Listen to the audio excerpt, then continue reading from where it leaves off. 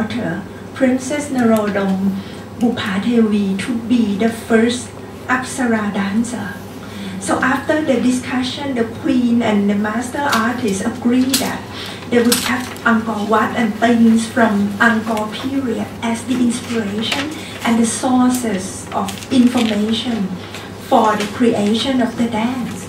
So with this picture, just, just a quick glance of this picture, and you can immediately say that the costumes of the dancers were created based on the Apsara bas-relief at Angkor Wat.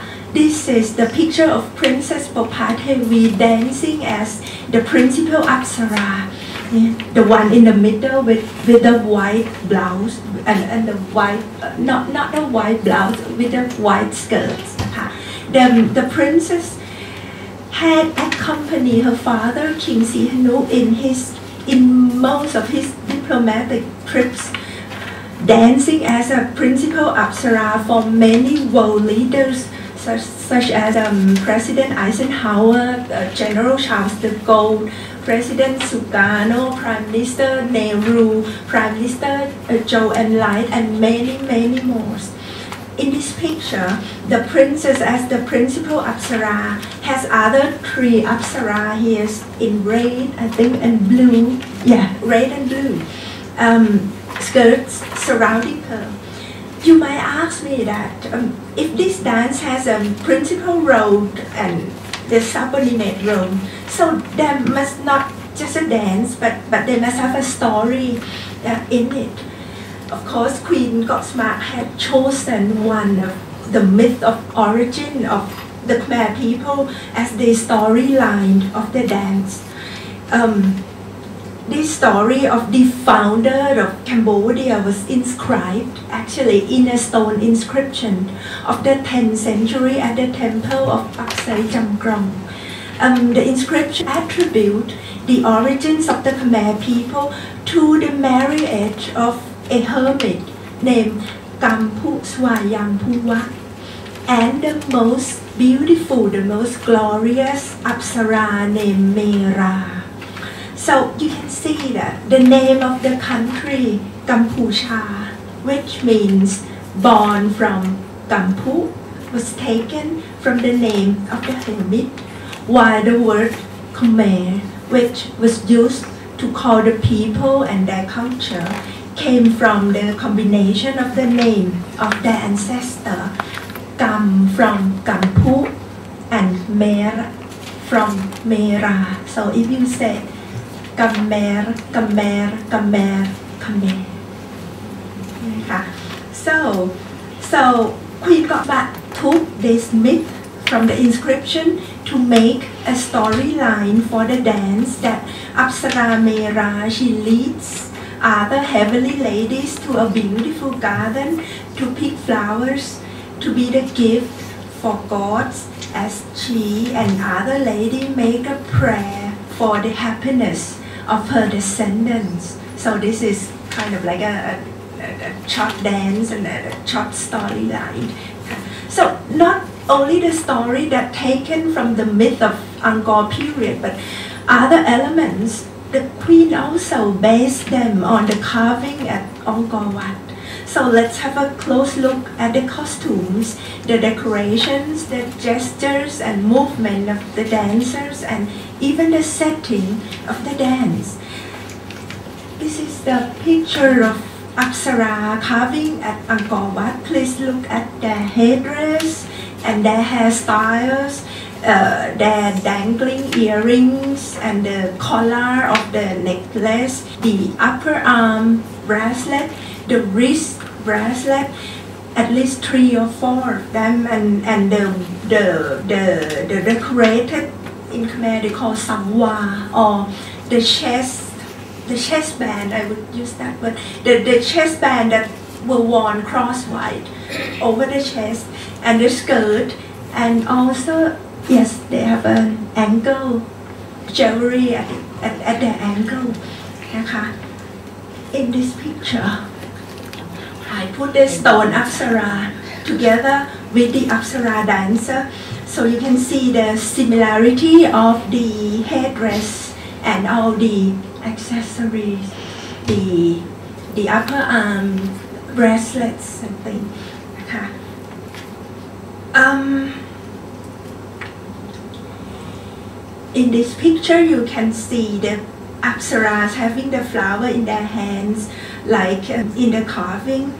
And because the stone apsara didn't wear any blouse so the queen decided that the dancers were she they gonna wear the skin color tight fit blouse or I think now we can call it a body suit like that.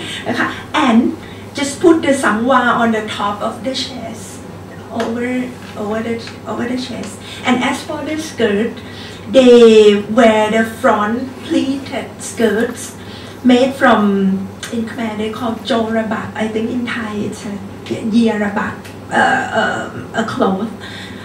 It was only the main dancer who wears a front pleated skirt with a pleated fringe in the front of the skirt and also maybe you can't see it here on the left side so as in the as in the the, the stone apsara okay. and the queendom intended that the principal apsara or Ning Mera wore the white skirt to reflect the purity of Khmer women. As for the dancers themselves, to become an Apsara dancer is very difficult. Not only for the practice, but for, I mean, she must have a specific characteristic and also a very specific appearance. She shouldn't be too tall or too short. 150 centimeters is perfect. But if taller than that, that's gonna be too too tall. And her skin must not be white, and also mu- must not be too dark. She must have a beautiful oval face with and beautiful oval eyes and a sharp nose and a large earlobes because you know the earring is very heavy like like the stone apsara and particularly she must have a slim and slender shape but not flat. You can't be flat. She she must have a round body like the body of a red ant which means a very small waist because if you look at the, the, the stone apsara, they really have a body of a, a red ant, like that, a very small waist and a nice uh, breadth and, and, and hips like that. So it's very difficult to, to be. The, the apsara dancer. And most important than that, she must have a graceful characteristic gentle but at the same time must be confident and must not openly show her feeling. Because you will see in the video later that the apsaras dancers they always smile but they never show their teeth at all because it's mean like you know it's, it's, it's not be a good Cambodian girl to smile broadly or laugh loudly like that. All the behavior is to follow the code of conduct for women, which is um, one of the most important didactic literature of Cambodia. It teaches Khmer women to be the perfectly virtuous women and was passed down from generation to generation for more than 500 years. Now let's let's have a quick look at the movement of the dance. So this is the carving of the dancer in the hall of dancer at Baron Temple. Ajahn Sunet may remember this this bas relief. We can we can see clearer. I would use this drawing. You can see it clearer, and later you will see this position in the dance in the video. Okay, and also the hand gesture. I, I choose this picture because you can see they make a, a hand like this her waist. In, in the West, they make a hand as uh, in, in ma many gesture, and, and you see the hand of the dancer. The hand gestures all have meaning in Khmer. This is the I can't see the the leaf and symbolize the bud and the fruit, and that one is the this one is the the stem of the flower and this one is the blooming flower that this one so all the gesture I think more than hundreds of gesture they all have meaning ค่ะ So the last picture that I'm gonna show you today is the picture of the bas-relief at Bayon Temple. Please take a look at the trees.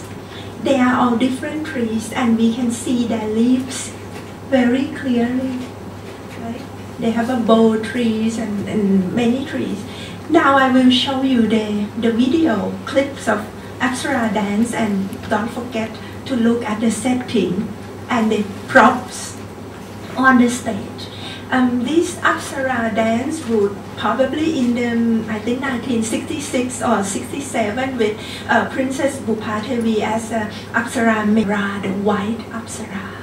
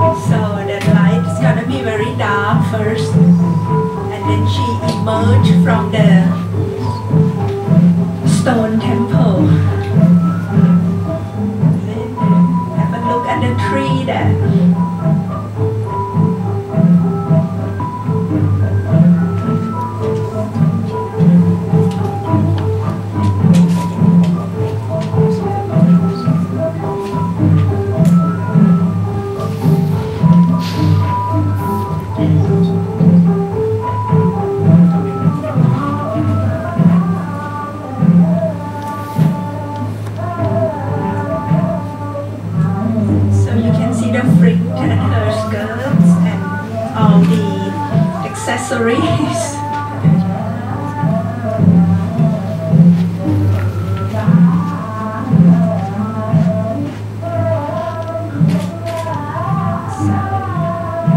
As you can see that they put the in Thai it's a lantom flowers very nicely on the long hair. It's, it's the, I mean the hairstyle is totally different from from the Thai dance. So you see the, the trees there.